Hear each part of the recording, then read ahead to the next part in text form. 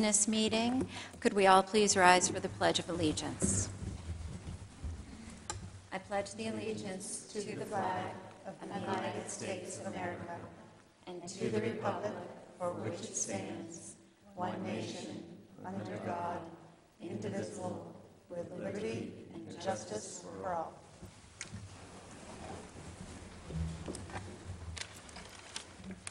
Thank you, everyone.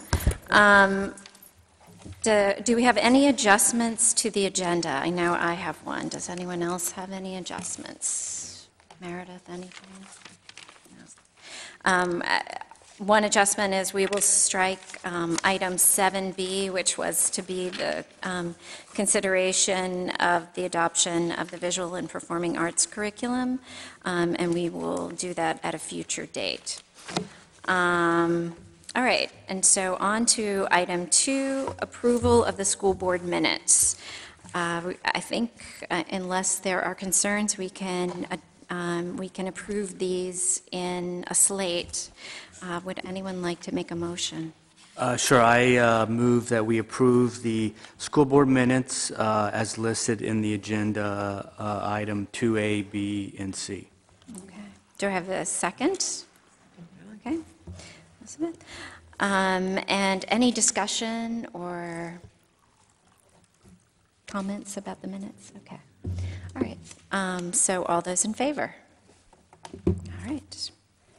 Seven oh. Okay, comments by student representatives. We don't have representatives from the middle school this evening, Um, and we're down one high school student um, who's playing um, lacrosse in the rain. Uh, So um, Abby Donley, would you like to tell us what's going on in the high school? I would love to. Um, well, the probably the biggest thing that's going on right now is prom, which will be taking place this Saturday at 8 o'clock at the Landing, um, which I believe is in Scarborough, and that is very exciting. Also, this week and next week, AP testing is going on, which is making students very stressed out. Um, but we have the achievement period, which is a new 30-minute period that they have inserted into our schedule uh, directly before the lunch period. It's a half hour where you can meet with teachers and clear up anything that you don't understand or just make up work or do homework, which has actually been very helpful. Um, mock trial went to nationals in New Mexico, and they placed 25th, which is directly in the middle, which is actually very good. And Claire Muscat won um, one of 10 Outstanding Witness Awards, which is, we are very proud of her for that. Um, seniors ha- are starting their STPs soon, which stands for Senior Transition Plan. Um, so yeah, they begin those in two weeks, I think. And the science team did very well in their national um, meet as well. And I think that's it. Okay, thanks, Abby, that's great. Mary, can I add something to that about the mock trial team? Um, Sure, go ahead. Uh, They actually did, if I can expand on that, uh, we came in 44th last year. To go from 44th to 25th is astonishing. Yes. In the second year of the Nationals. And um, I always get Claire and Emily mixed up, but Claire getting, I I can, only- I I probably could guess, but there's hundreds of witnesses. For her to come in eighth in the country as a witness is a tremendous achievement. No Maine kid has ever done that. And plenty of individual Maine members got awards for best advocacy, best witness, best, in various trials. So it was really an excellent overall achievement. And also, we came within two to three points of, of winning. Uh, we came two to, won two trials, lost two trials. But one of those trials, we lost by like two points uh, to um, a very good team, and it could easily, depending on the certain judge, have gone another way, which case we could have come in quite a bit higher. So I think it's an amazing achievement, considering it was a, one of the most complex trials I've ever seen. Um, I, I helped with the mock trial team. One of the most complex trials I ever saw. These kids had to do it while all the coursework went on, which was three or four hours a night for extended weeks at a time. For them to come in 25th in this country is absolutely amazing. Yes. I agree. So congratulations to that mock trial team. I think they did an amazing job here in the state. I sat through the states along with um, Meredith came through for some of them, and David was there. Um, um, They were um, extraordinary, so I- I'm not surprised they, did- they jumped as much as they did in nationals this year. Um, They're, they've become polished competitors, thanks to some very good coaching and some kids who have stuck with the program, so. So, um, thank you, Abby. And let's move on to item number four then, and if there are no questions for our student rep. Okay. Um, Comments from the public on agenda items. Any comments? Okay. Uh, We'll move on to item five, recognition. Pond Cove Principal for the Day. Ah.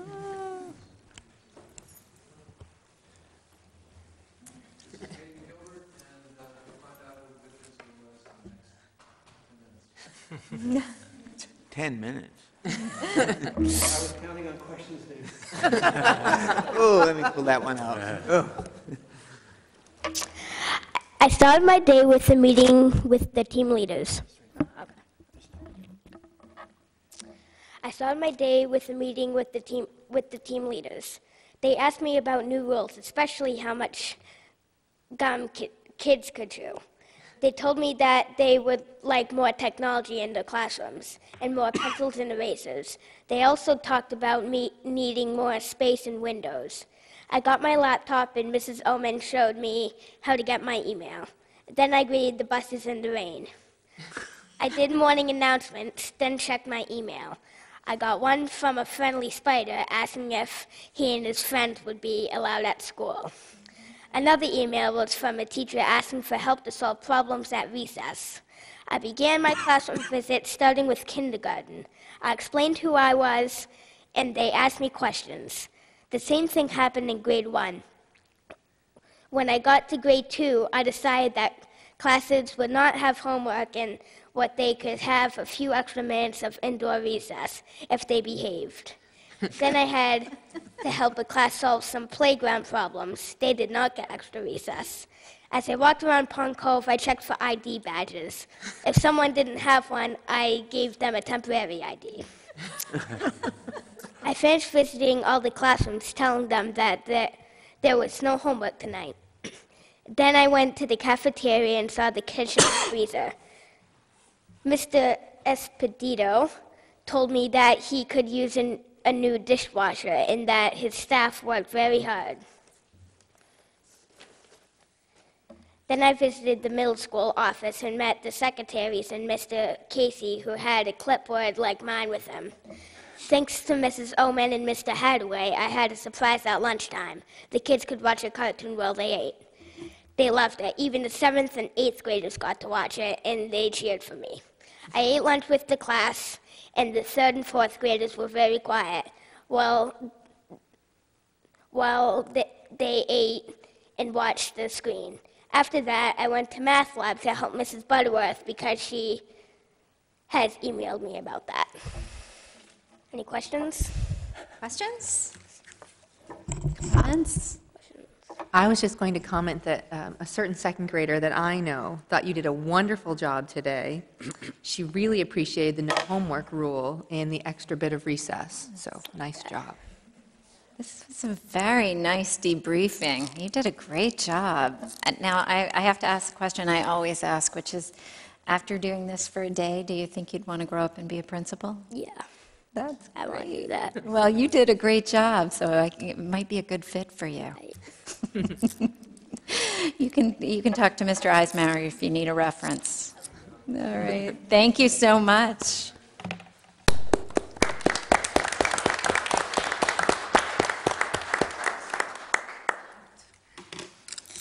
Okay, our next item is English Language Learners Cookbook. Do we have someone here to talk about their cookbook?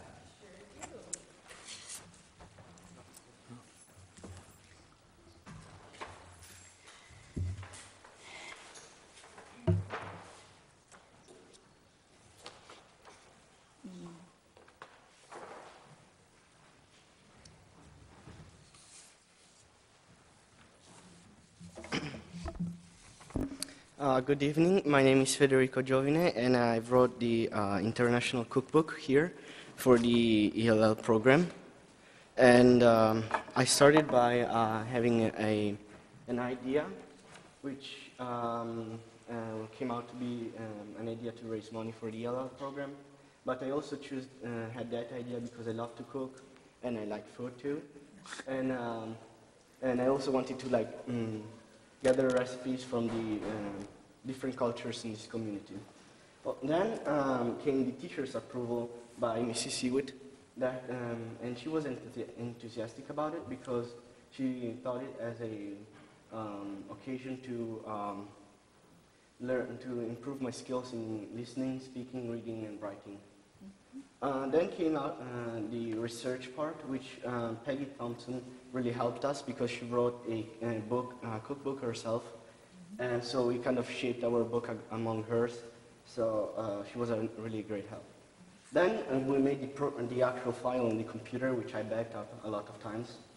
And, um, and Jack Duffy, the tech uh, desk at the middle school, really helped us setting.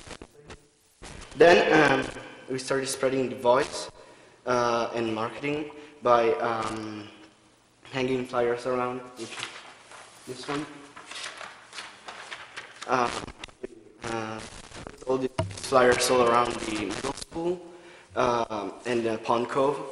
And then we sent email and also made an email, a cookbook email for the actual cookbook. Then we also, I also had um, uh, luckily a, cook, a, an article in the Cape Courier, which is this one. Uh, right here. This was the article. And I also uh, had an idea that Mrs. would really love us to put little QR codes on here, which would help people to scan them and then have an, a direct email con- contact on your smartphones. Uh, um, after we um, did this step, we went to get recipes by um, receiving them from our inbox of emails and also uh, papers from different people. And uh, we reached our goal of roughly 100 recipes. When we uh, reached the 100 recipes goal, we started writing, and we first, I first sorted them by type, by like main dishes, side dishes, and desserts. And then I also had to translate them from uh, Italian to English because my friends and relatives in Italy gave them to me some recipes. But the hardest part is was to uh, uh, to like change the units from metric to American units, which is kind of the hardest part. Um, then we printed the first draft, which is this one. And uh, Mrs. Hewitt, uh, Mrs. Potter, and Peggy Thompson uh, edited it, and I revised it. And this is the first draft. As you can see, it's like a, uh, normal paper because we just printed it. Then uh, came the second draft, uh, draft, which is this one, which looks better. And we still edited it, and I revised it. And eventually came the final draft, which is this one. And I was really proud of it personally.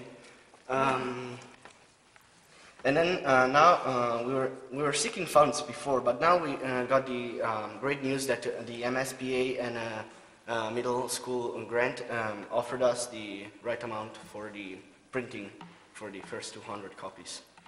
Good, congratulations. Any questions? Um, Any questions for Frederico? So how, how can we get a copy of your cookbook? Uh, we're uh, planning to go to the printer by tomorrow or the next after tomorrow, and hopefully we have it done by Mother's Day or Monday after Mother's and Day. And then will, will it be available? We'll yes, be able to buy a by, copy of it? yeah, yeah. We, um, we just got asked today to sell it at the, um, the Pond Cove Challenge. Great. So we'll set up a table there and Federico can sell them then. Yeah. And also through the, uh, website that's, or the email that's right on the paper on your tables, you could email us and we can get books to you too. Yeah. Okay, great, good. Any other comments or questions? Did you put any of your own recipes in there? Yeah, uh, they are like my favorites from like my grandmother, and uh, they're like around here. But then also I have like this part that are specialties, which is like part, uh, recipes that I couldn't fit anywhere else. So I put like a special part for them because I personally think they're really special. Oh, great. I'm looking forward to I getting a copy. I know. Thank you so much. Oh, That's you're a welcome. very interesting project, and um, it'll, I can't wait to get my hands on a copy and try some of your special, rec- or your grandmother's recipes, really. Thanks. Thank you.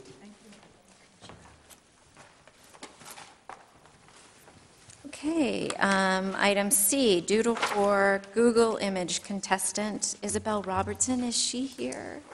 Isabel wasn't able to be here, and I don't know if Steve wants to talk at all. I thought I would share with you Isabel's image, and I certainly can pass this along.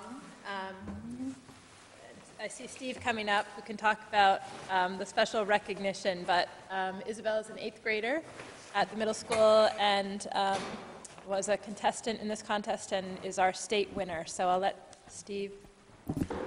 Just a note on the recipe book, my wife's grandmother's apple Betty, which I'm now in charge of somehow down the line, I can't figure that one out, but that's in the book, you'll have to try it. So, Great. Um, there were, this is the fourth year of the Doodle for Google contest, it's a national contest, and there were, this year there were 114,000 entrants in that. And the theme was, if, if I could be, if I could be any place, it's a futuristic kind of thinking.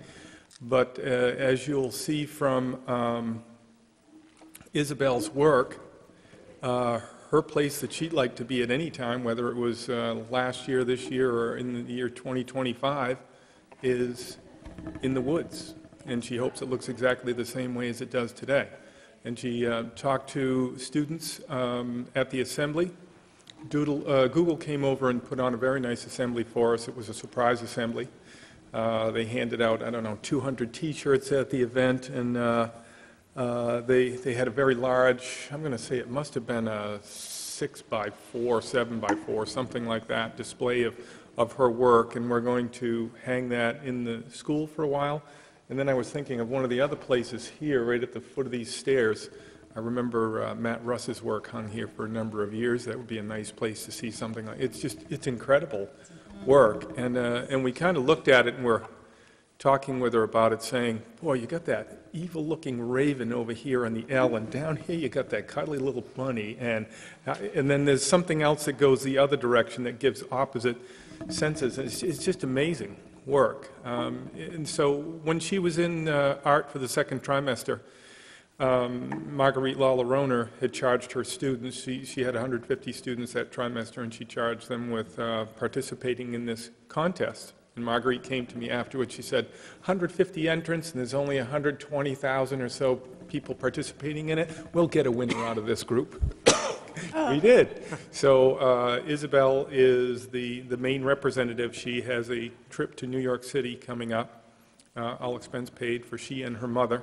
Her mother visited New York as a youngster, was scared to death after her visit to the Empire State Building, but Isabel swears she's going to get her back, back up there. Um, And and Isabel did a marvelous job presenting to her colleagues, uh, very poised. Just, I think a lot of kids would say, "Oh, I know her, she's kind of a quiet person, but to listen to her present, I think half the kids in the audience were going, okay, that's really interesting. So we're uh, proud of her and her accomplishments. It was a great week for the uh, family. I happened to be up there at Chewonki also while her younger brother was uh, crossing the gulch and videotaped that for the family. So it was just a great week in their household, or outside their household, too. Um, Do you want to mention, you just mentioned briefly the, the filming. Do you want to expand, expand on that? I don't know that everyone knows that, um, that PBS was filming. um, Up to Chewonki? Mhm. Yep, and I should also say with, with Isabel's piece, that um, there's a, there's online voting that you can do to support her as, as Maine's representative. And, and we figured out that, uh, doing the math, that every Maine citizen would have to vote 114 and a half times to balance out California, but we won't worry about that. We'll just work at it. I've sent it out to all the principals I know and said, hey, get, let's get on this. Uh, And she also, if she is the national winner, it's $30,000 scholarship, and there's $50,000 that would go towards putting a new computer lab in the school of the winning student. Uh, So I- while I was, in the other piece you were just talking about is the Visionaries piece that was up at Chewonki. Right. So, um, you know, we, we've had a 26-year relationship with Chewonki, and I was just talking to Joe Doan and said, you've been all 26 years, and he just turned 52. I said, that's half your life, Joe. He thinks he spent half his life up there. He, he just loves it. Uh, so there's, uh, the National PBS has uh, a series that they're putting together of, um, I just guess I'd call it like local hotspots or national hotspots, things that what's happening, where's, where's the visionary activity that's happening in, in education today. And so lo and behold, what's the place that they happen to pick but a nationally renowned outdoor experience? Um, So they, they were thrilled to be up there that week with our kids. They followed uh, Joe's group around one day, Charlie's group, uh, Charlie Carroll's group around, I believe, for another half a day. They interviewed several people, uh, students, myself, Joe and Charlie, and, and um, I think it was Michelle Gagney. So they, they were just saying to us, this is, we can't believe the things we're seeing these kids do up here. We didn't really know about it. We had an idea of what Chewonki is, and we came here to get this information. And even though you hear it in advance, when you get there and you see exactly what they're doing, they were saying to us, we, we understand exactly why you come back here year after year. So um, that's going to be appearing in their national program, and they also have, the guy was telling me, there's an app for that, right? It has to be. So there's going to be some kind of app that you can download from, to your, to your uh, phone, and it will connect you to be able to see any of the uh, PBS Visionary series from there. And there'll be a link directly to, uh, uh, off that Chewonki piece, to our website and information about our school program. Great. That's awesome. Great It's stuff. really awesome. Yeah. It's a great week last week. Yep. so Thanks. So Steve, will you be putting that on your blog when Oh, it yes. comes out? Oh, yes. That'd be great. As soon as they give me Share all the with the community. details, he said they, uh, we swap- swapped contact information, so once I get all the details, I'll, I'll post that so people know what to look for. That'll be exciting. Great, thanks. Okay, so we will move on to item number six, communications. Um, And we have Ruth Ann Haley here um, to discuss the library, um, along with Jay Scherma.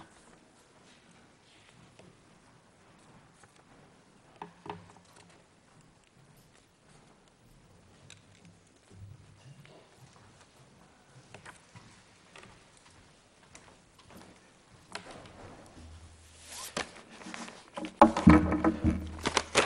evening.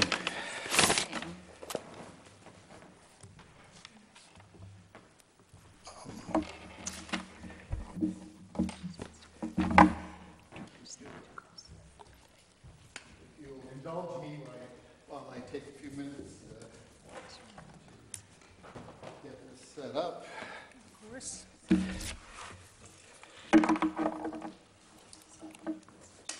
Got a brief PowerPoint for you. Um, As I think probably most of you are aware, um, the Thomas Memorial Library's trustees have been charged by the town council with conducting an engagement process um, to make sure that the citizenry of the community are fully um, informed of the um, state of the current library project. Uh, Let me try this again.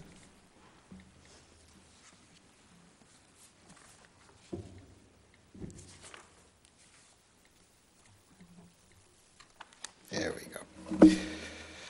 Um,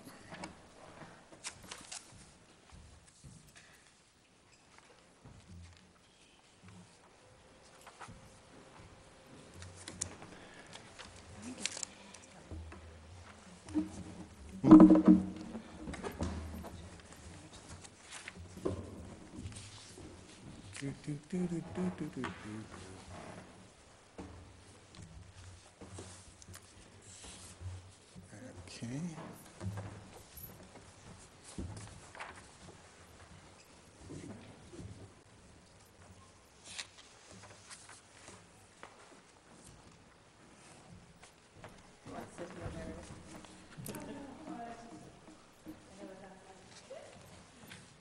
There we go. Okay. We've got 20 slides here. Hopefully, it's not going to take us anywhere near 20 minutes to get through them. Um, I'm going to start briefly with the background of the project. Um, For those of you who may not be aware of the fact, um, the project actually began um, with the new comprehensive plan for the town in 2007. Uh, A survey was done of all municipal properties at that time, and it was determined that of all the town's properties, the Thomas Memorial Library had been the last to be renovated or in any way substantially upgraded. The last upgrade was in 1985.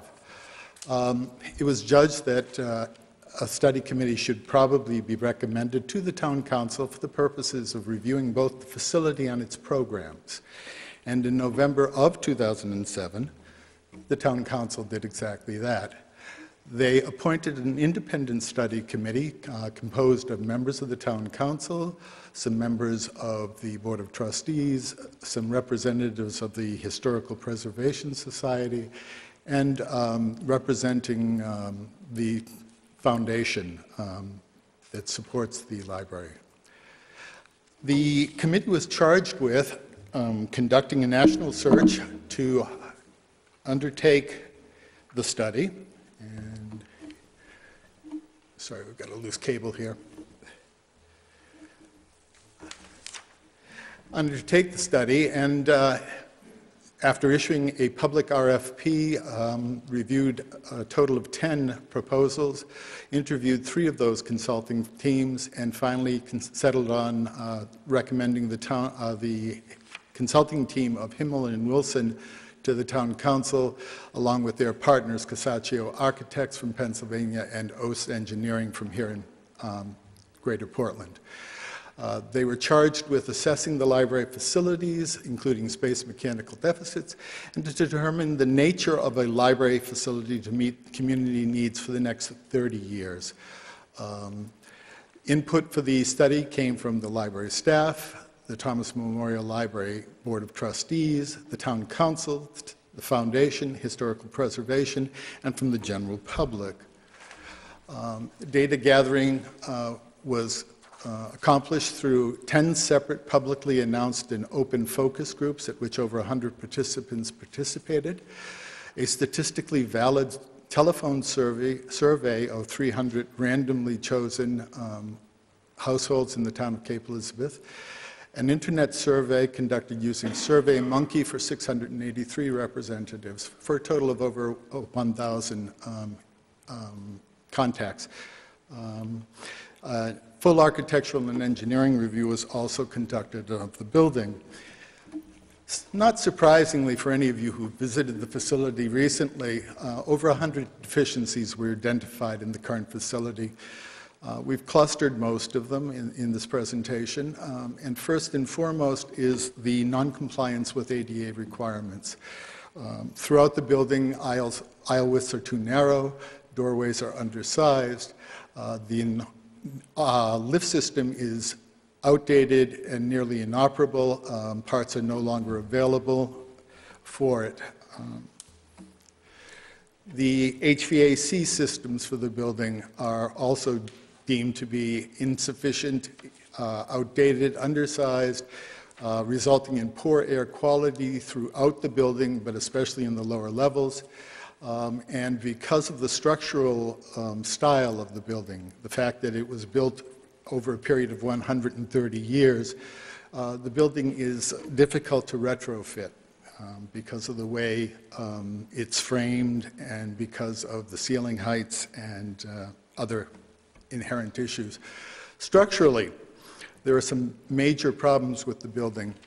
Um, Throughout the entire lower level, ceiling heights are deficient. Um, In fact, in many areas, they do not conform to code. Uh, The structural support for the building is inadequate, uh, most specifically on the children's side of the building, um, and, uh, but overall. And there is profound um, evidence of water damage throughout the lower foundations of the building uh, and incidences of mold and mildews.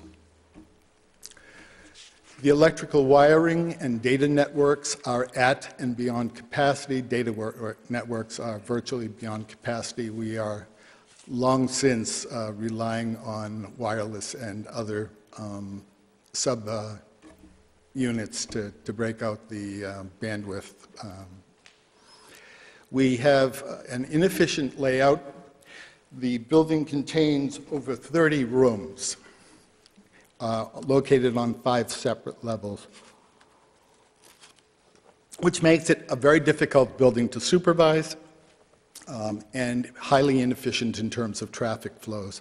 The circulation area, for any of you who have used the building in, re- in recent times, is painfully inadequate for the traffic, um, but it is our only um, service entrance, and it is the only place that deliveries can be made because there are no loading docks, there are no um, entrances that are below grade. The study identified in the short term a number of things that really should be dealt with um, as soon as possible. Uh, the electrical mains in the system were found to be um, deficient to the point where insurance companies would no longer cover them. Uh, those were immediately swapped out as soon as we found that one out. Um, but the foundation issues remain and they should be dealt with. We have remediated mold in two separate parts of the building, um, but we have not done a full survey of the lower levels especially. Um, we have not addressed ADA issues because, quite frankly, the hope is that we don't deal with something piecemeal, but in one um, major undertaking. Um, nor have we implemented RF technologies, which is radio frequency, uh, in the item, which is a, a current inventory control mechanism that is being used across the United States to replace uh, barcode technology because it embeds information within it. Uh, it's a very expensive technology. The actual implementation of the system would probably cost between 150 and 200,000 dollars ultimately. Uh, until we have a better idea of what we're actually going to do, it didn't seem practical to us to start implementing that technology um, because, quite frankly, we have too many unsecured ways of moving materials in and out of the building. Um, there are over 40 windows in the building, all of which open. There are three major doors, none of which are alarmed. Inventory control uh, and security are simply non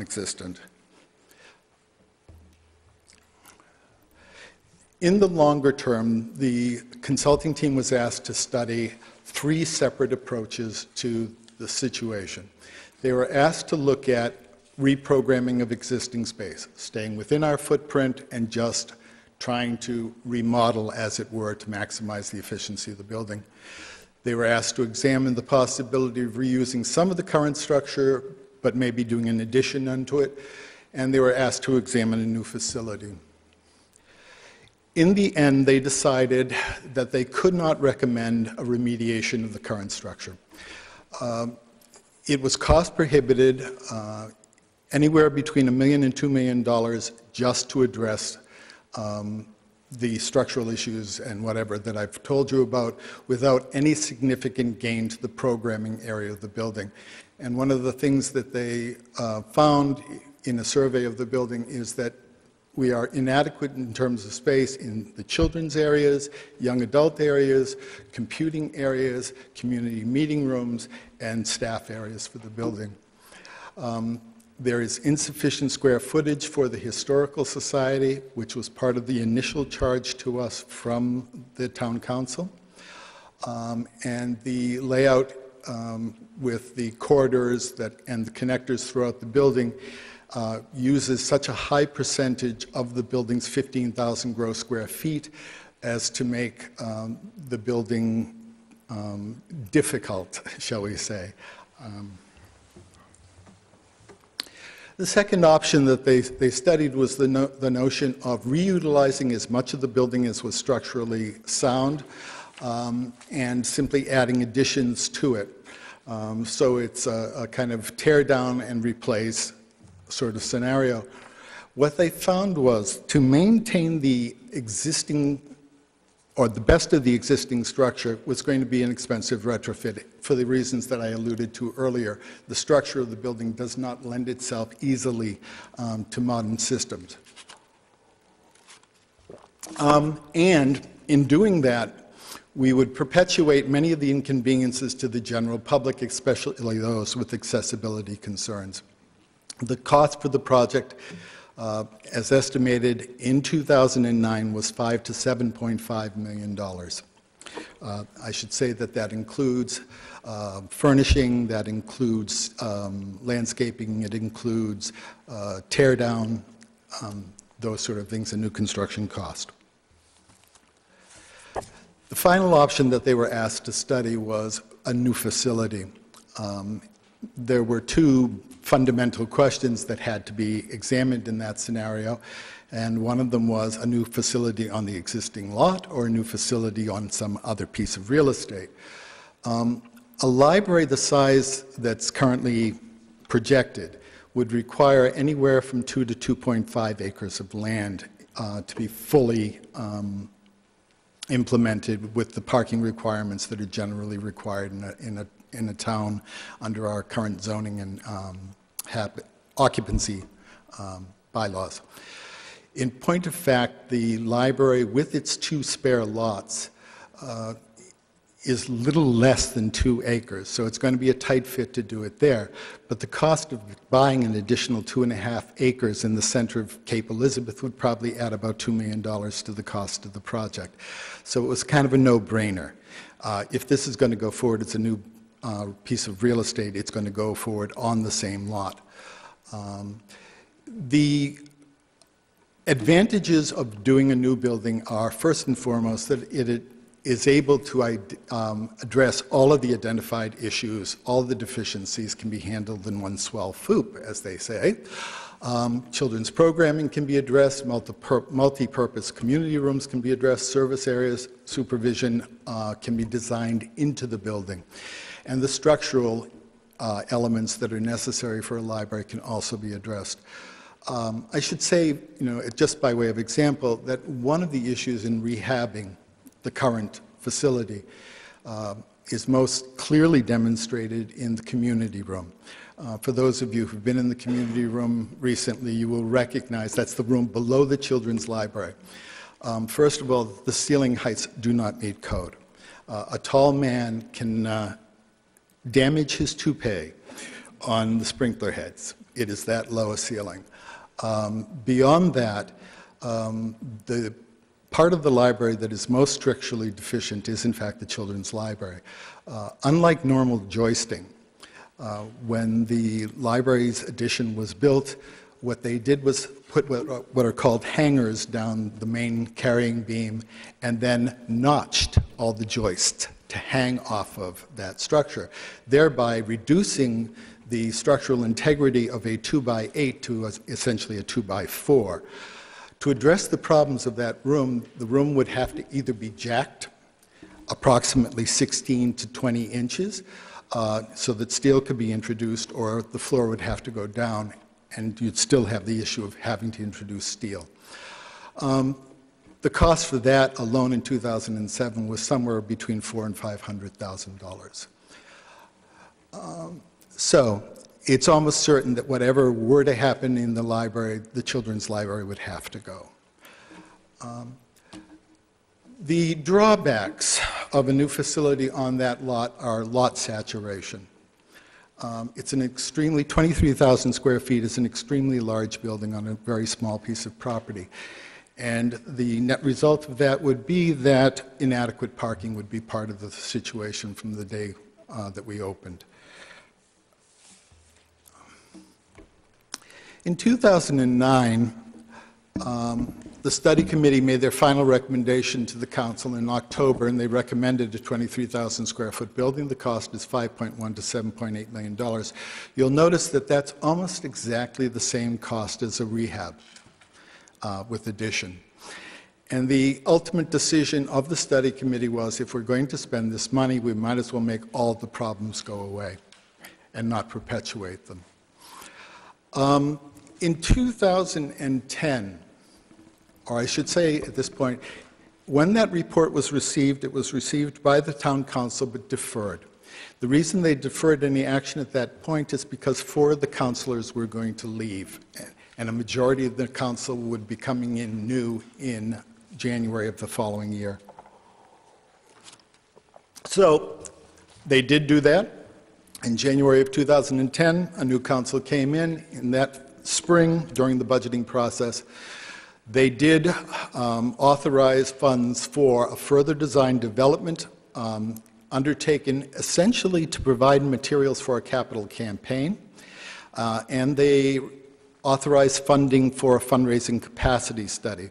Um, the intent being to actually find out how much private money could be raised in the town of Cape Elizabeth for a project of this sort, and thereby reduce the burden on taxpayers.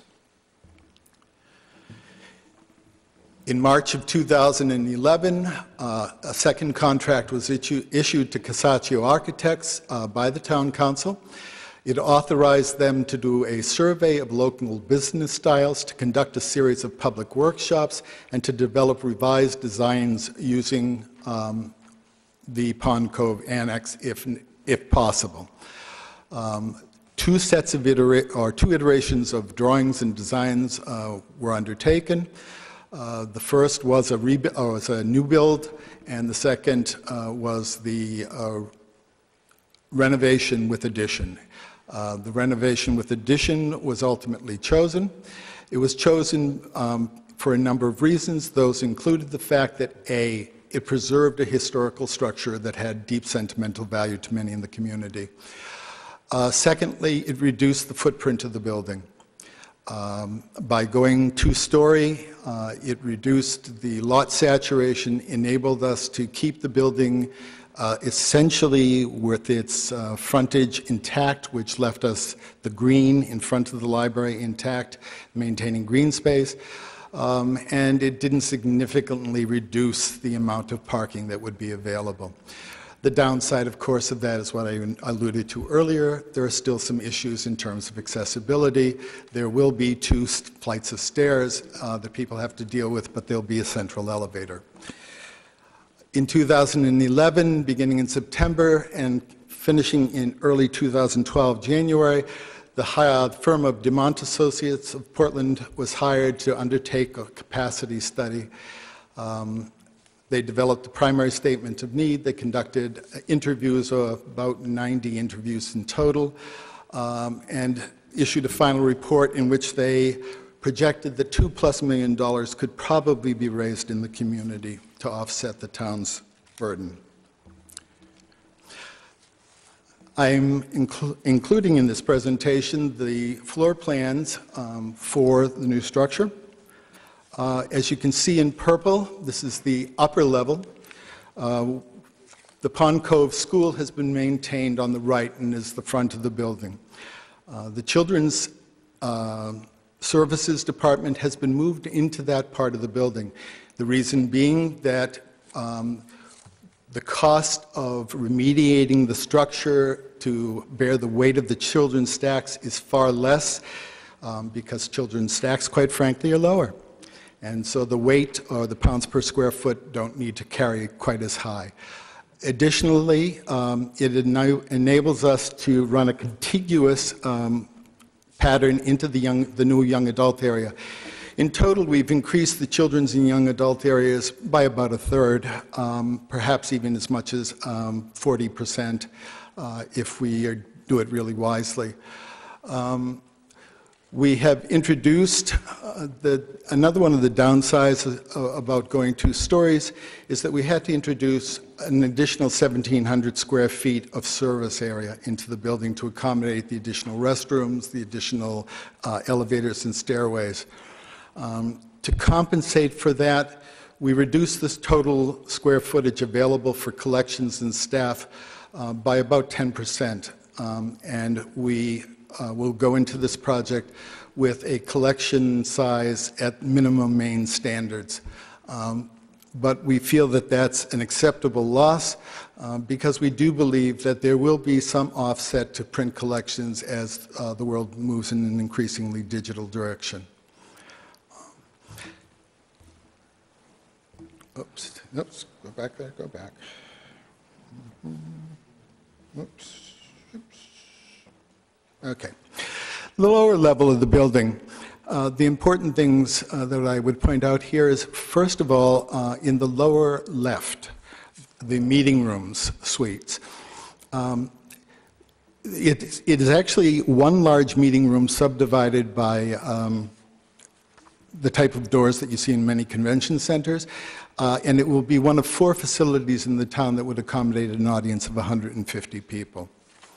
Um, Next to it is a um, computer and um, conference room. Uh, It's designed to be set up as a computer lab uh, for the general public, and it's also designed to be used for adjunct school services uh, like Evan Thayer's robotics program. Uh, A larger area for the Historical Society.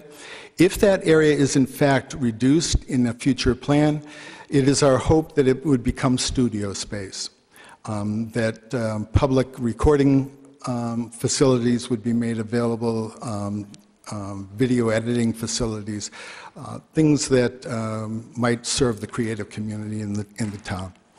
Finally, we've located a lot of um, storage, mechanical, and service functions below the Old Pond Cove School Building because, quite frankly, we can't bring the floors to the same height uh, in the basement, so we can't have uh, anything that requires full ductwork.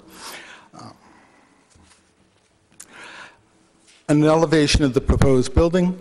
Uh, We have done everything in our power to simplify the roof line to keep it a vaguely New England um, design. And the landscaping plan uh, as currently proposed. You see on the right that we have maintained the front green. It is hoped that we would be able to use that, uh, continue to use that for summer concert series. Um, Parking is as compact as we can possibly make it. And most importantly, we have done everything to try to open up the, the library to the public schools. Um, It is our profound hope that we can continue the relationship that uh, hopefully we have built over the last 30 years. Um, We firmly believe that libraries are an adjunct to educational services. Uh, We hope that we provide for the community early literacy training uh, and that we continue and support uh, our student body uh, in uh, after-school activities and vacations uh, and uh, in curriculum support without being directly curriculum-driven. And finally, we hope that we're there for our students as they become adults and start their own families. I would um, call to your attention that any of the original building documents or planning documents are available on our website.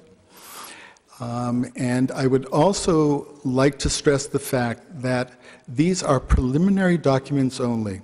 Uh, And it is part of the process at this point, as, as the council has charged us, to make the public aware and to make the school board aware and all of your support groups, CEEF, um, any of your parenting organizations, that we will be conducting a series of workshops, public meetings, and tours.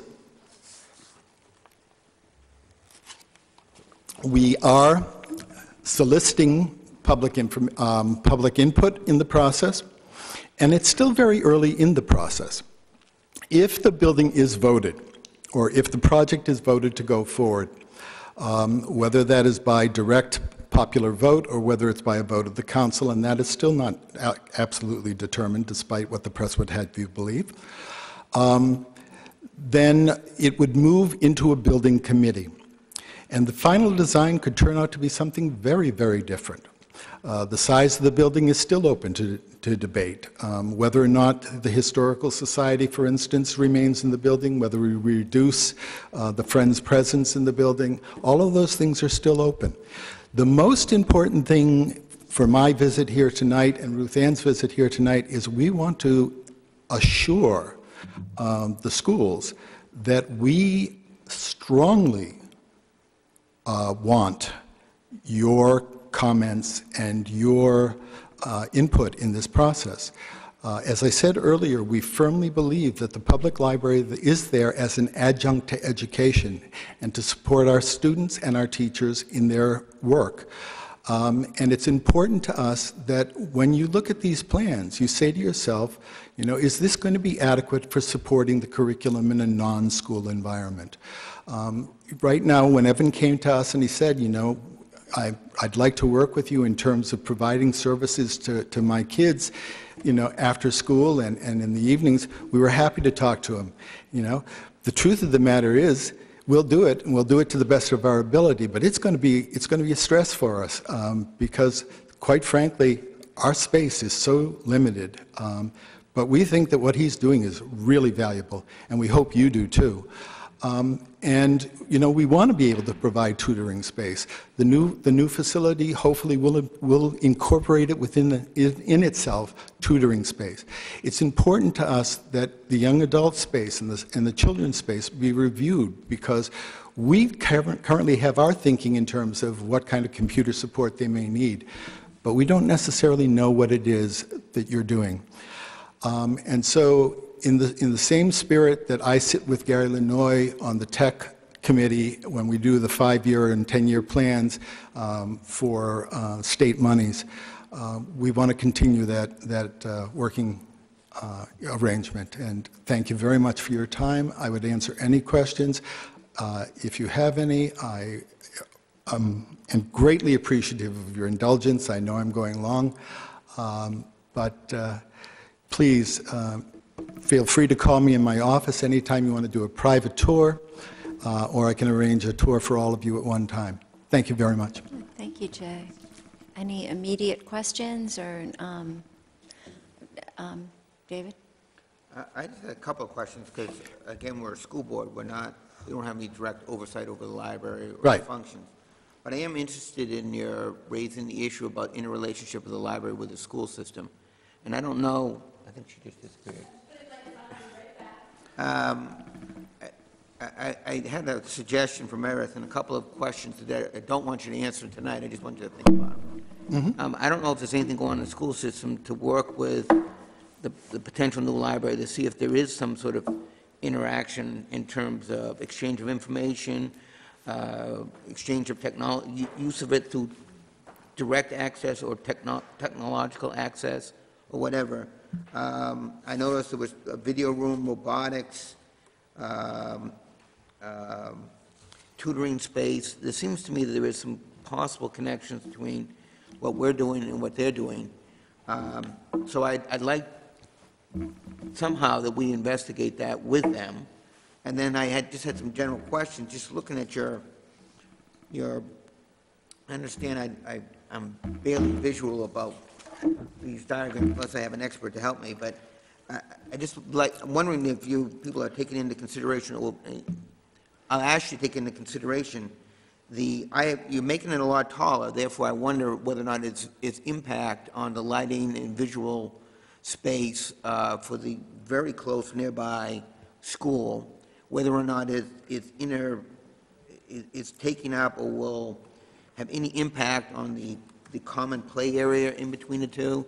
So I guess what I'm saying is, I, I think it would be very worthwhile for the library committee to work with the school board about what impact does this building, never mind the services it could provide, have on the schools, both positive and negative? Yep. Because I I don't think any of us want to go down the road and have us have a problem, or you have a problem, which we could have addressed up front. Right. So that's what I would suggest. Right. I would just, to play back a little on your comment, David, Jay and I have met, we've had that conversation, we've talked about when it reaches a stage that he's ready So I don't have to put- our library staff be part of the conversation, or whoever else, you know, um, from the district makes sense to be part of the conversation, that we're very willing to do that. I'll help make people available. I know Jay has certainly expressed his interest in working collaboratively on that. Um, And again, I would say when it gets to the building committee stage and design pieces are incorporated, that will certainly, Greg, I know will be part of those conversations, and, and and we'll make sure that he's looking out. I think that's very helpful to say for the public, because as a member of the public, I know, I saw nothing about this in the newspapers. I read all this for the first time. To hear the stuff going on in the background, I think it's important for the public to hear that, and it's actually important for somebody sitting up here to know that that's going on, because I'm glad to hear it. Yeah, may, may I just go on record as saying, I think you have an incredibly good superintendent. Um, in the 16 years that I've... I, Really? I do. I- In the 16 years that I've worked in this community, I, you know, I would have to say that my working relationship with Meredith is the best that it has ever been. I congratulate you. I think this is a very, very good choice that you've made. Thank Um, We like her. We like her a lot. And we do on our side of the street, too. No. Jay, no, I know, oh, I'm sorry, go ahead, John. I choose. John, because Michael deferred.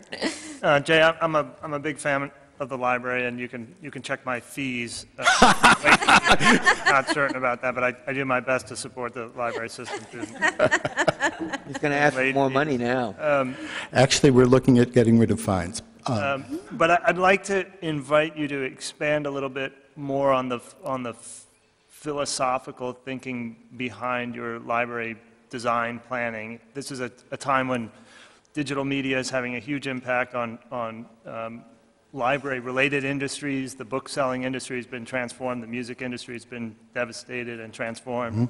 Um, uh, And there must be people doing very um, uh, forward-looking thinking about libraries and library designs and their places in, in our, in our communities Mhm. going forward. Can you talk a, a little bit about, about that and how that's impacted, um, that kind of thinking's impacted the committee's work? Yeah. I think the key to it is flexibility. Um, The truth of the matter is, is that none of us really know what is going to happen, um, whether it's five years down the road, 10 years down the road, or 20 years down the road. Uh, We do know that the uh, digitalization of, of uh, information, um, not just the book industry, but across the, the board, uh, is widespread and um, the impact is profound. Um, It's currently estimated that about 21% of Americans have an e-reader or have used an e-reader in the last year. It's interesting that only 11% of Americans have actually bought an e-book. Um, So that, that's an interesting dichotomy, discrepancy, that no one's quite sure what it means, but the implication may simply be that Americans think the current price point is too high and they're not going to play the game at 8 point, what is it, about 8.4 dollars for the average ebook now. Um, It may also be that what we're seeing is the development of parallel technologies. Um, in the same way that um, the motion picture industry was terrified of what the impact would be of television, and you know, 50 plus years later, both industries have found their market niche. Uh, the same is true of radio to a certain extent. Uh, It is interesting to note that the publishing industry published more books last year than it published in its history. Um, So paper doesn't seem to be going away per se. It certainly is shifting. Um, The mass paperback is probably going to be one of the fatalities within the next five years. Trade pap- paperbacks will be the only thing left. Um, It is also true that publishers are moving to concurrent publishing, so that the digital book comes out at the same time uh, as the uh, paper copy. Uh, But at this juncture, it really does not look like paper is going away. In fact, the buying pattern seems to be that the same people who are buying e-books are buying paper in exactly the same proportion.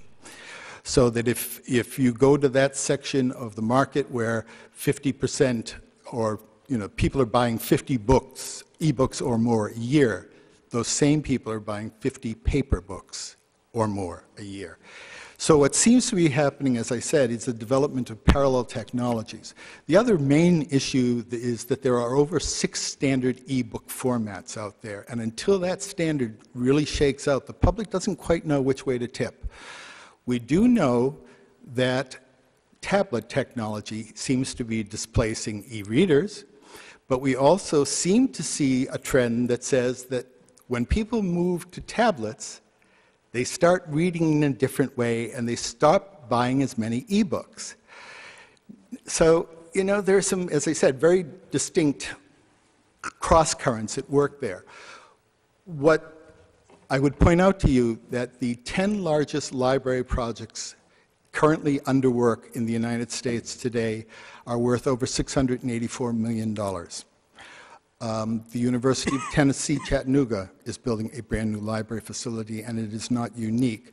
Um, What we see happening is that there still seems to be a need for the library, um, if for nothing more than, it's, it's no longer a matter of libraries being repositories. It's libraries as cultural centers. And that's part of what the, the Planning Committee has been trying to take into account in their planning process.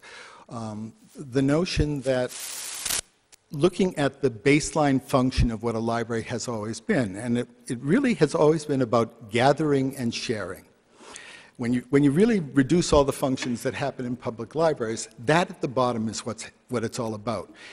In gathering of information in whatever format it may occur, and then sharing that information for cost-effective and social reasons. Um, in these plans and in the planning process, what we're hoping to accomplish is building a building that is totally flexible, so that if the stacks eventually go away in 30 years or 20 years or 10 years, that that space can be reutilized for purposes that ascend. Um, one of the concepts, or I should say two of the concepts that are fundamental to the way we are thinking about this building are the notion of tool cribbing, and the notion of sandboxing, uh, which are two terms that, you know, kind of have flexibility to them and may not have been generally accepted by the, the full public at this point, but the concepts are simple. Sandboxing is the notion of demo space, the notion that a library would be a space wherein every e-reader that's currently on the market is available and the staff is acquainted with them and can demonstrate them. And as technologies emerge, that purpose continues. The notion of tool cribbing is the notion of libraries moving their collections into non-traditional materials. Um, an ex example might be um, the Topsham Public Library, for instance, has fishing equipment. And it does that because it backs right to the Androscoggin River, which for the first time in my life is clean, enough to actually eat the fish out of it. Um, and so this non-traditional material is available. In a broader context, that is extended to the notion of providing, as I said, studio equipment, or providing um, more high-cost uh, creative materials, uh, plotters, um, laser cutters, that sort of thing, for the general public uh, for their creative purposes. And finally, the last part of that thing is the creation and storage of local productivity and information and creativity. Local concerts become part of the streaming collection that the library has. Does that answer your question, John? Yes, absolutely. Thank you, thank you, I appreciate that.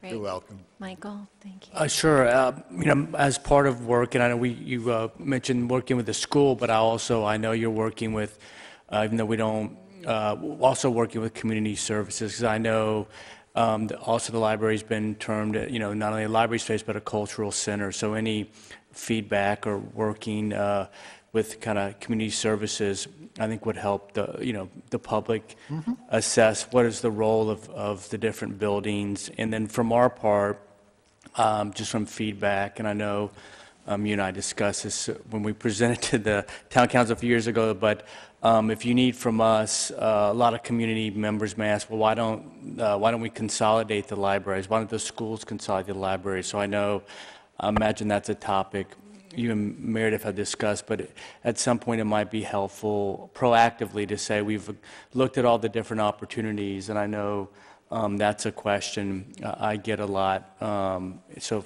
as a proactive information, and I'm sure we, we've worked on that. But also, if you, there's some questions you get that impact the schools, if, you know, obviously let us know, and we can get those answers to you so the public can be uh, informed. But thank you for, uh, for presenting tonight. Thank you, Michael. It was a great presentation, and Thank you, Mary. I feel a lot more informed at this point. I- It was all sort of nebulous for me until now, so I appreciate all of this, and I'll look forward to attending one of the public meetings. Are those going to be um, coming up soon? There's going to be a public conversation at the end of May. Okay.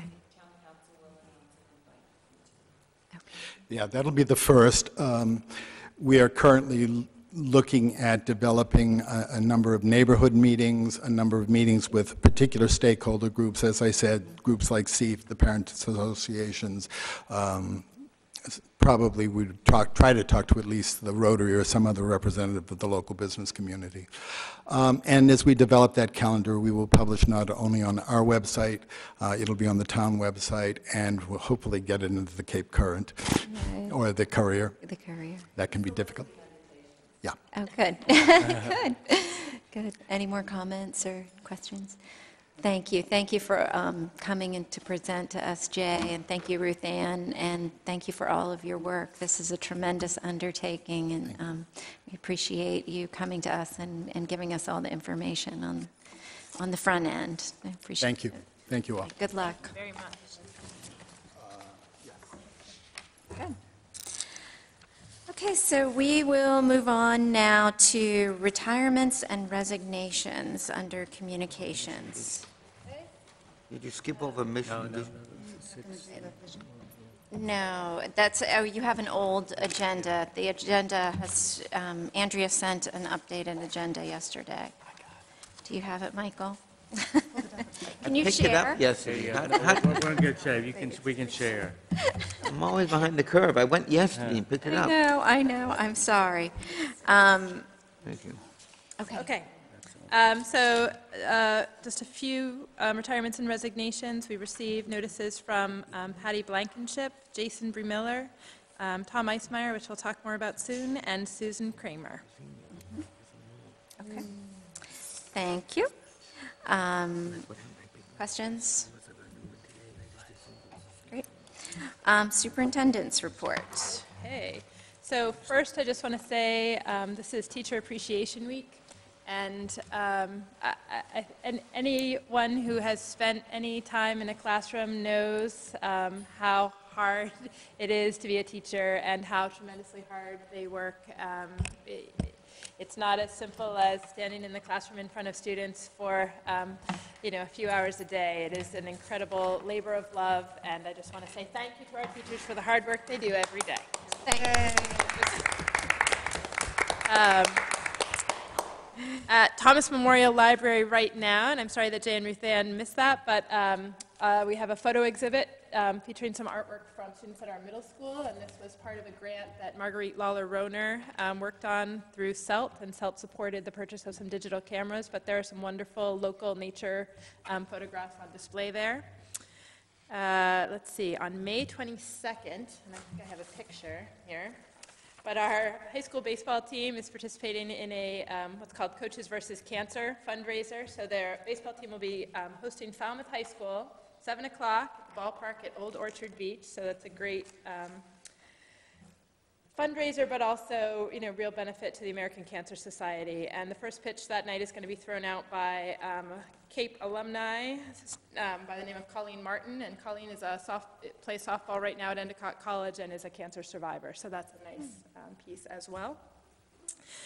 We had a number of students uh, who received some awards in this year's National Latin Exam. We had five students who were commended, received the Gold Summa Cum Laude Medal, and we had 15 other students who were honored. So um, given that we have only a very limited Latin program offering, I think that's a pretty remarkable accomplishment. So our compliments um, to Mort Sol and obviously to um, the Latin students who participated.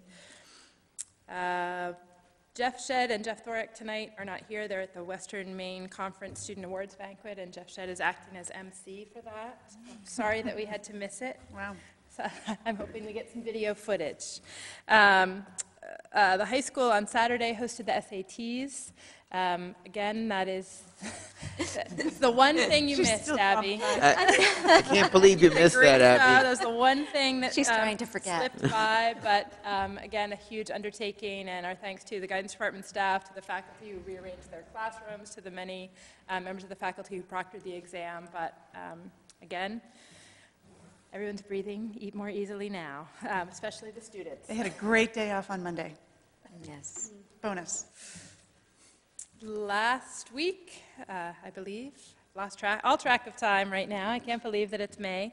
Um, I was able to attend a response to intervention conference um, hosted by the Maine Principals Association, and we had um, teams from our high school and middle school there, and it was just a great chance um, for them to think collaboratively about where they are right now with the response to intervention model and sort of plan forward. Um, We are also in the midst of our end-of-year assessments, so it's a very busy time, and not only are our teachers working hard and adapting schedules, and our administrators, you know, shifting priorities, and we've had substitutes doing some coverage to support, you know, for example, our reading assessments that elementary teachers conduct one-on-one. Um, But our technology staff also is kept very busy because a lot of the assessments we do these days are electronic, and it requires a lot of setup and prep time. So again, um, thank you to them, but uh, keep going, students. We know you're working really hard, too. And it's the end of year, so we have lots of upcoming events, concerts, and culminating activities. So I would just encourage people, I couldn't possibly list them all unless we stayed really, really, really late, which I am not recommending. Um, but visit the Google Master Calendar on our district website um, just to see some of the things that are coming up, ranging from the high school art show to the first and second grade concerts and uh, everything in between. Great, thanks, Meredith. There is one draw to the uh, high school arts starting on Friday. There is apparently a, a picture of a decrepit old man in a um, Right. bathrobe and sort of, instead of Find Waldo, it's Find David. Is it for sale? I I think Um, Hey, My, my son would sell me out in a heartbeat. I thought Mary would like that, but apparently it's going to be on exhibit. I'm, I'm going to go for that reason. And that actually. reason only. Yes. There'll be more for. Thanks for giving us a heads up on that. Um, I I would say, though, that art show is spectacular. It is spectacular, so anyone who has the opportunity to go should definitely try and make their way over to the high school next week. I think it starts Friday, I think. And it's just one week, is that right? One moment, let me check the master calendar. I didn't realize I'd sparked such an interest. Oh dear. Just for I the bathroom. have no idea Just now, I can't tell. Well, it, it will probably be on the web, and It it, is definitely on the high school site, and I'm sorry that I don't yeah, it's remember exact. Um, Well, thanks, Meredith. Thanks for bringing it to our attention. Um, So if there's nothing else, Meredith, we'll move on to item number seven, consideration to adopt the Cape Elizabeth School District vision, mission, and values. Do I have a motion? Elizabeth, I think you should make the motion since you were part of the team, if you agree. I agree. Um, I move we adopt the Cape Elizabeth School District Vision, Mission, and Values. Do I have a second? Second. Um, Any discussion around that? Meredith, do you want to give a Sure, and again, I would ask Overview. Mary or Elizabeth to join in, um, as they both have been part of this work. Um, I I think we've talked about this a number of times. This work started way back in December um, and had been um, one of the things, I think, on the board's list from before I was even hired to update the vision and mission. Um, We've gone through some, um, we started with a staff input session and community input sessions to get um, some general ideas of what was it that people felt the strengths of the district were, what was it that people were looking for, hopes and dreams. Um, Worked, took all of that feedback to a committee. The committee worked together to really study that, make some decisions about what should be included in a vision and mission, put together a draft, and then we went back through um, some feedback sessions and ultimately came up with this product, which is here today. So it's posted on the website. Um, It's included in the board packet we shared last time around, so it's exciting. It's a first step, certainly, I think, um, but I think it's a really important first step, and I think it, it's a great lens through which we'll be able to look at work as we move forward, to, you know, to think about strategic planning. I think it just informs overall the work that um, the district will be doing moving forward, so I'm really excited about it. Yes. Anything to add, Elizabeth? I think it's all been said. Yes, I agree. I think Meredith said it all. It's, it is very exciting. I'm personally um, really proud of the work that was accomplished by that committee. We had students and teachers and community members, um, administrators. Um, Everybody participated. Uh, We had a lot of um, data to go over, and as I said last time, the um, gratifying piece was that everybody was looking in the same direction, so, um, and I give a lot of um, praise to Meredith for leading that team through all of, um, through reams of paper, and I think what they called out was um, the gold from all of that data, and uh, it's a statement that I feel um, very proud to have been a part of, and um, thank you, Meredith. It's a really beautiful statement, and it's short and simple, and the hope is that it will be memorable to all the stakeholders, that um, kids and um, parents will be able to understand and, and um, look to it um, for what, uh, as a statement for our, um, what our school values and where we're, where we're headed. So, And I, I can't, I can't wait to share it. I mean, I know. I'm just waiting for tonight and hoping that you know, this moves forward because we can't wait to get it out um, in the schools and in community letters and to the papers and um, just have other people know where we're headed. So- It's very, it's very forward-thinking, I think. It's a um, very progressive statement. So, um, any other questions about it or comments? No? Okay, great. All those in favor? Wonderful. Um, So now that we've approved it, I can say that um, in the, this winter, we'll be doing a TEDx program. For those who are familiar with TED, um, uh, we're going to be doing a program for the high school juniors and seniors. We've started the process for it, and we had to pick a theme yesterday, and we picked open minds and open doors. And we'll have four sessions. Um, The plan is to have four um, sessions of speakers, and each of our values will represent one of those sessions. Community will be the first session, and then academics, passion, and ethics. Um, So the speakers will all align themselves with those topics. So, so we're moving forward already. Wow, that's great. So, Can't wait to hear more about that. yeah, it'll be exciting. So, so thank you.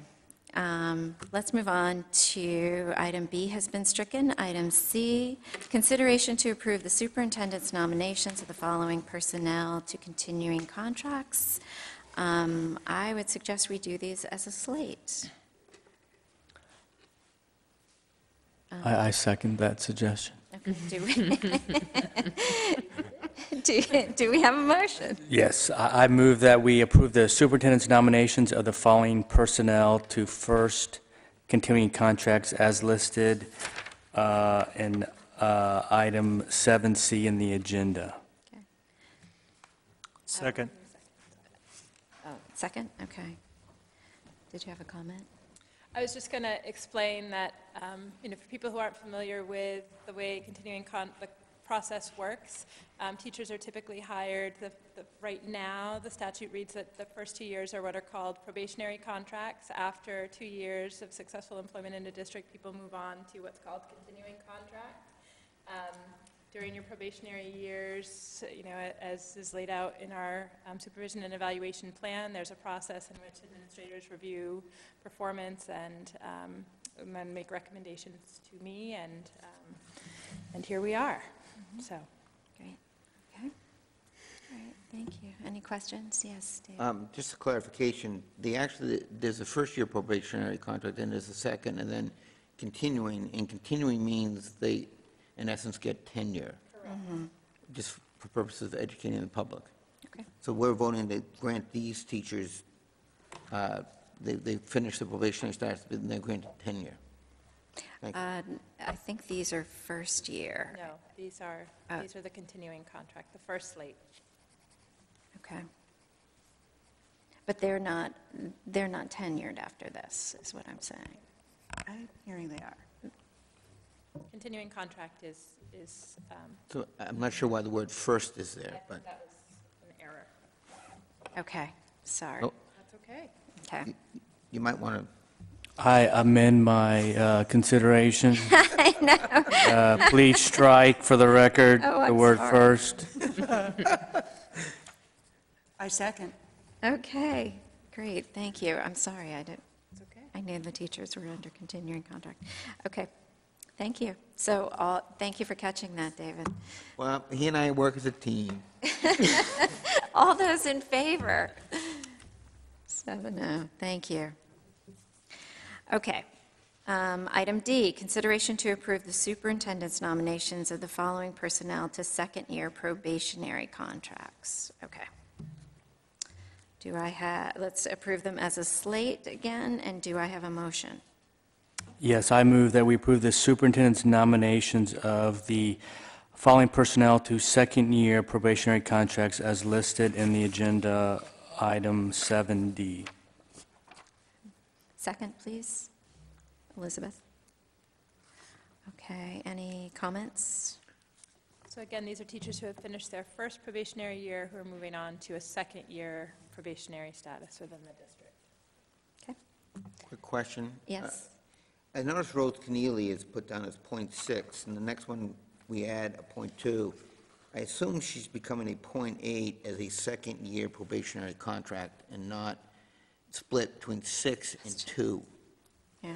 You are correct in that, but because it is a change to her current status, we felt it was important to separate the continuing contract moving forward and the additional time that she's being But hired for. in, in But she terms of will- approval, she should be point eight, so my amender should uh, make that a point eight rather than a point six. Uh, David, please change point six to point eight in your agenda. All right. But however, I have a, que- I have a clarifying question on that, though, because there's one move to move her in her .6 position to a second-year probationary, but then the second motion would be to add the .2, which we have yet to approve. Well, chicken or the egg, which one do you want to do? Chicken? Okay, then it's point, then it's point eight. No, that's the egg.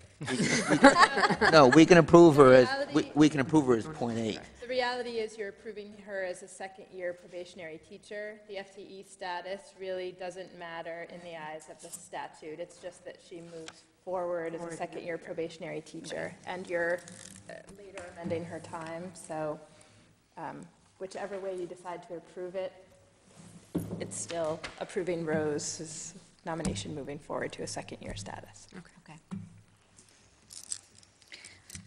So we'll stick with um, point six. Um, I I don't, well, I don't think it matters, It doesn't. so. I don't think it does either, so. I disagree, but I honestly don't care. I, I- I think you have to, Which amounts to the same thing, right? no, actually it doesn't, but you know, you know, All Get right, it. all those in favor? Okay. Thank you. Okay, item number E, consideration of the following policies for second reading. GBEBB, staff conduct with students. John, um, I have a do- motion. Do you want to make a motion? Yes, I move that we approve um, the policy GBEBB, staff conduct with students. I second. Okay, any discussion or, Um, Well, I would just quickly say that um, the committee worked very hard on this policy, um, and so, as did the, uh, uh, the, well, the board members of the committee, as well as the administrative members of the committee, who actually took this policy to staff um, and discussed it at length. Um, We also had participation on the committee from board members, um, not, not regularly on the committee, so there was a lot of attention paid to this, to this policy. Um, And the reason for that is it's a very important policy. Um, We're trying to um, create very clear guidelines for staff conduct with students, um, and at the same time, not, not inhibit relationships which are important to, to um, students' academic progress and performance. So um, a lot of thought went into this, and, and, um, and uh, it was also the, the, the, um, uh, the sense of the committee that um, this policy is really a, a sort of a starting point, um, and, and the committee emphasized that it was important that the schools have regular, open dialogue about this policy and what it means. Um, And I think that was very well understood by the, um, the administrators on the committee and already put into practice as they um, took the policy to, to staff to, to talk about it as we formulated it. Okay, thank you for taking that time with that policy. Thanks for all who gave input um, and um, worked to get it exactly the way it needed to be.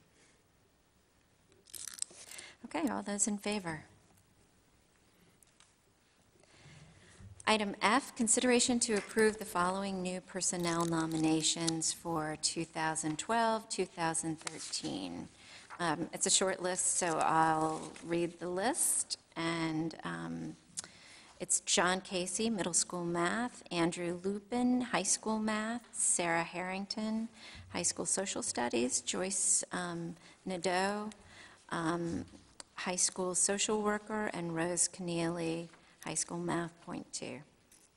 Um, Do I have a motion, please? I move that we approve the following personnel as read by Mary for um, nominations for the 2012-2013 is listed as in today's agenda as item 7F. Second? Elizabeth? Um, Any discussion? All those in favor? Seven. Um, Consideration to approve the collective bargaining agreement uh, for the Cape Elizabeth Education Association Administrative Support Personnel and Educational Technicians 1 dated July 1, 2012 to June 30th, 2015.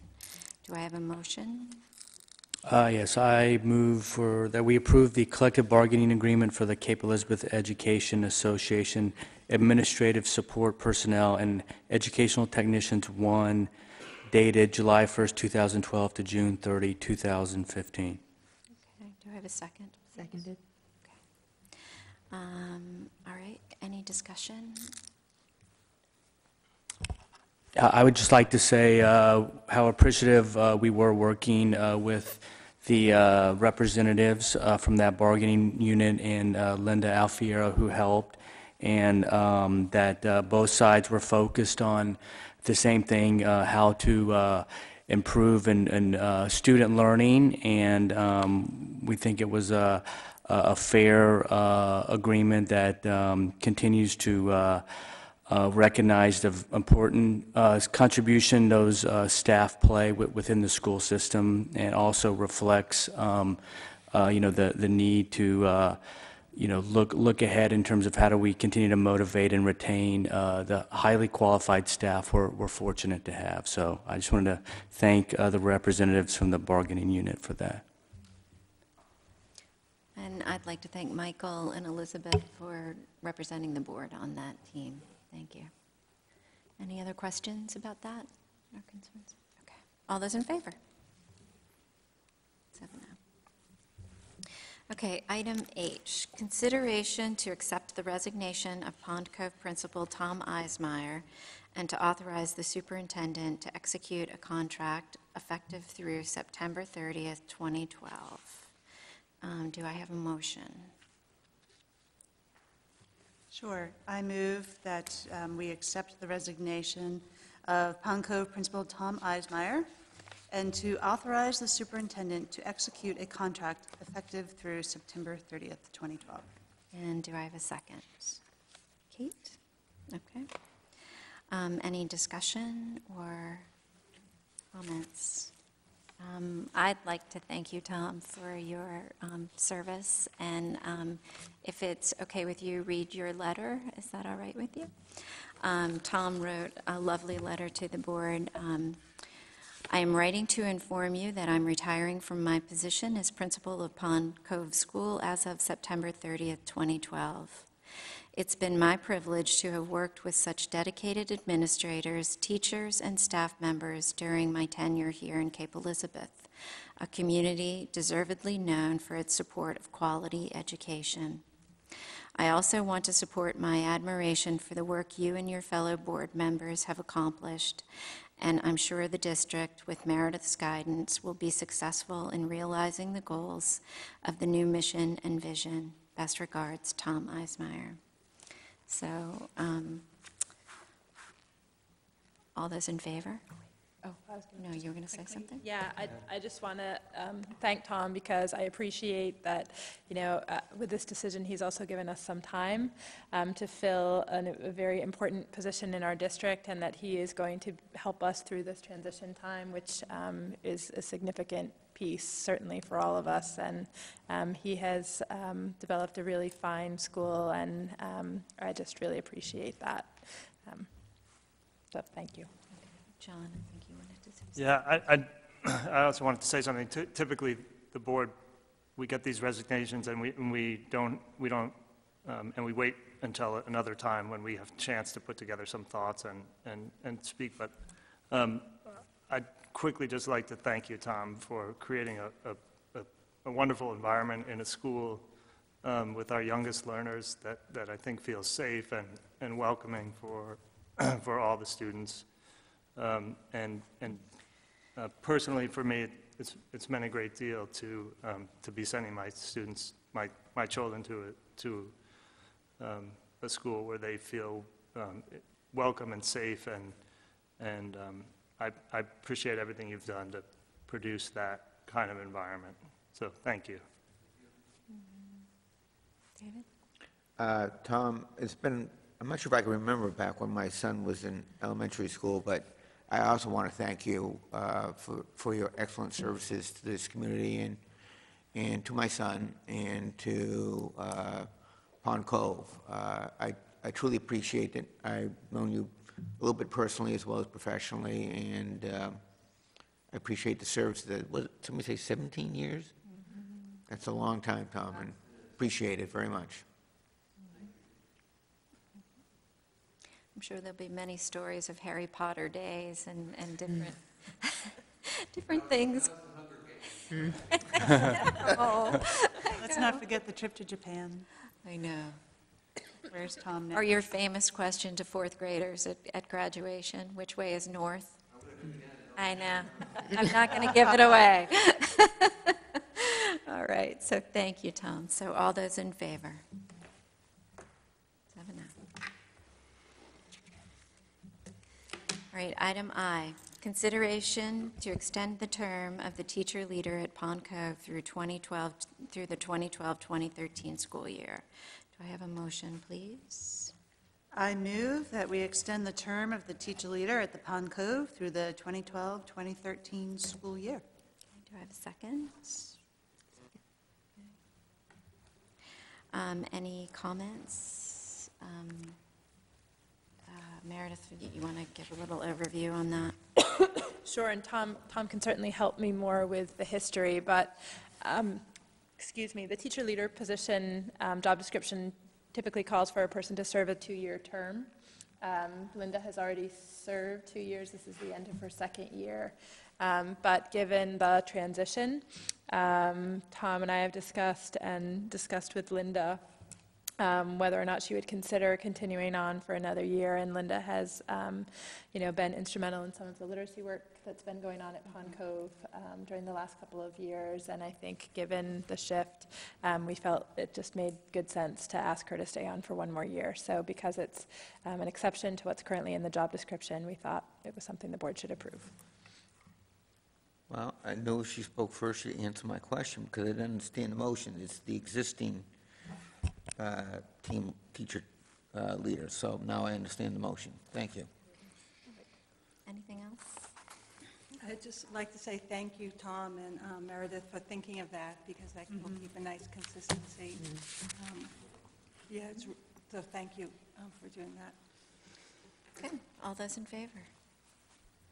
Seven oh. All right, um, item number J, consideration to authorize and direct the superintendent pursuant to 20-A MRSA, Chapter, Subsection. is that, s- what is? Subsection. Subsection four- um, 1486 um, 2 and 2307 to deliver the town clerk, um, to the town clerk for display at all polling places, the completed notice of amounts adopted at the town council meeting um, for voters at school budget validation referendum.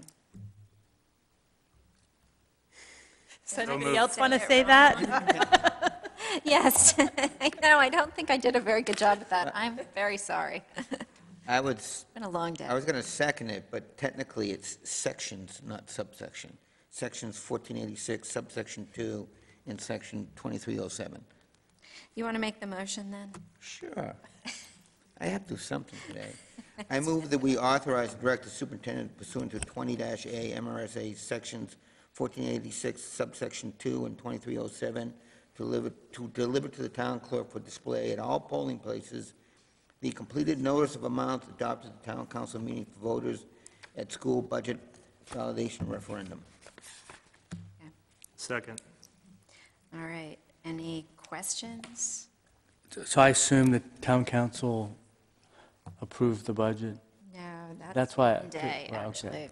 actually. So that, that- that's what I was confused. The town council is slated to vote on Monday, um, because there's not a regularly scheduled board meeting between Monday and the time that the ballot has to be posted. We ask that you authorize me to post it in accordance with what they approve. Um, Okay. And that is my understanding, has historically been the practice, that Yes. the council approves and we post whatever they approve. Um, And actually, our next business meeting is on Election Day, so. Clarifying question, what happens if they don't approve the whole thing, but just part of it? They approve a dollar amount, and Okay. that's what would be posted. Yeah. They can't line item veto it, they approve it all amount. Oh, They okay. either approve it or, Or approve it or don't, so it's either a full vote thing or not. Right. Okay. Yeah. It's my first year, I didn't know. it's okay. Actually, That's why Pauline's here, because hmm? Thank God. actually. get into any heavy detailed questions, I'm going to her. Actually, technically, they either approve the amount, they can't reduce or change, they either approve the amount to be presented, or they vote no, and we have to do it again. That's right, Okay. that's right. So, Any other questions? Right, Pauline? Thank you. Concerns? Um, All those in favor? And um, so, just as we're talking about the budget, the um, council is slated to vote on the budget on Monday evening at 7 o'clock, so board members who are able to attend, um, just for that um, period of time that they'll be going over the budget, um, are encouraged to do so. I think it's early on in the agenda, but you can take a look online and see. Okay. Um, Item number eight, committee reports. Um, John, do you want to update, or Sure. do you have an update ready? Um, Yeah, I can briefly give an update. So the policy committee met recently with Ann Chapman from Drummond Woodsum, who is helping us revi- review and revise our policy manual, which is, um, is, contains a lot of policies we probably don't need, um, and may, um, may be better handled through um, administrative procedures. Um, So in our second meeting with Ann, we reviewed, we began to review the policies that are required by law, um, because generally there is not much that we can do locally around those policies. Um, And so we're moving through um, those, beginning with uh, the policies that start with the letter A. Um, And um, we will, um, we will work through those um, first set of policies, and then we'll bring that group of policies uh, to the board for board approval um, once we have the final uh, committee version. So we should, at our next board meeting, probably have a group of 10 to 12 policies that we'll, we'll be asking the board to, to uh, review for first reading. Thank you.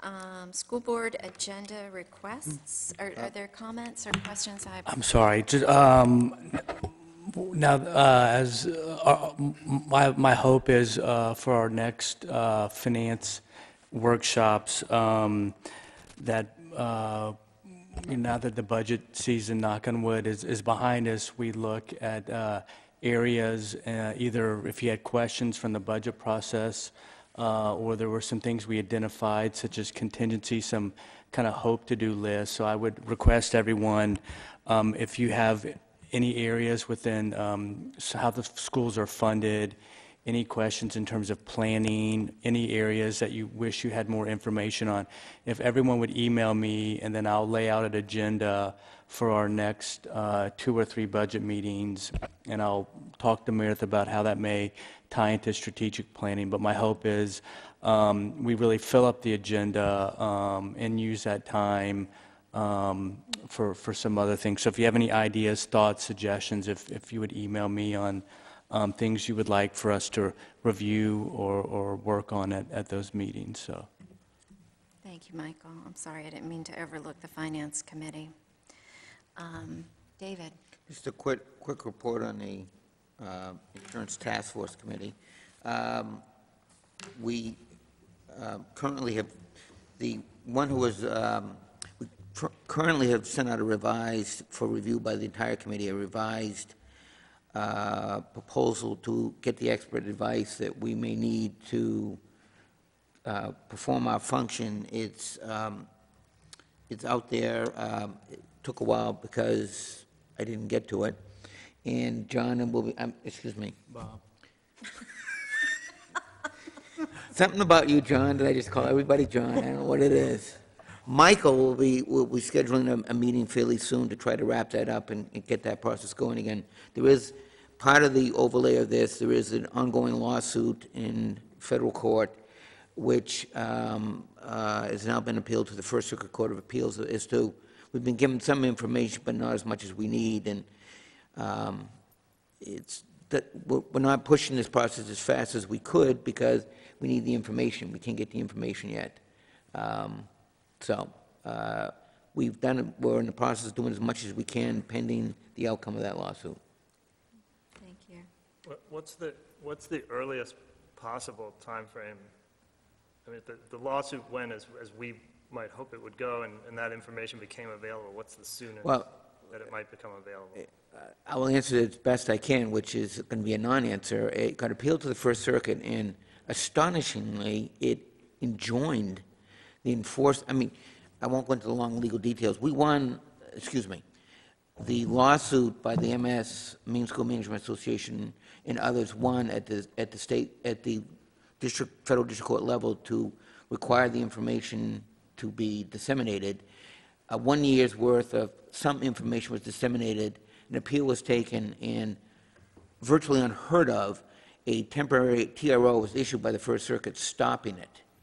So until that TRO is heard, uh, um, and the result of that TRO, either we'll get more information or will be stayed pending the First Circuit making a, a decision on the underlying merits of the lawsuit. So I, the answer is, there is no answer time frame for you yet, because a highly unusual move was done by the First Circuit. We thought we'd have information by now, but um, Do we know when that move is being reviewed?